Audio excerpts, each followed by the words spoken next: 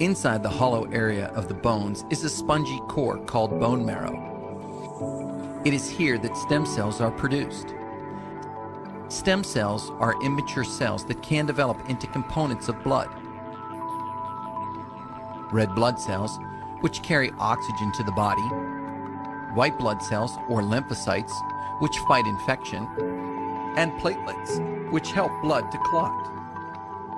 Acute lymphocytic leukemia, ALL, is a cancer of the stem cells in the bone marrow that produce lymphocytes. The term acute means the cancer cells multiply rapidly, crowding out the normal cells in the blood and bone marrow. In addition, as the number of unhealthy lymphocytes in the blood and bone marrow increases, fewer red blood cells and platelets are produced. If the bone marrow is unable to produce enough healthy lymphocytes, the patient will be unable to fight infections.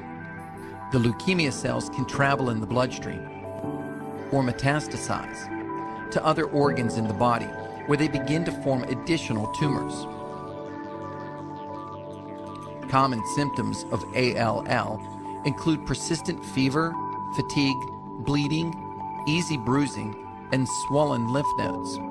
Chemotherapy is the first line of treatment aimed at destroying the leukemia cells and allowing normal blood cells to grow radiation therapy, biologic therapy, and bone marrow transplantation may also be used if chemotherapy is unsuccessful. Acute lymphocytic leukemia is the most common cancer in young children.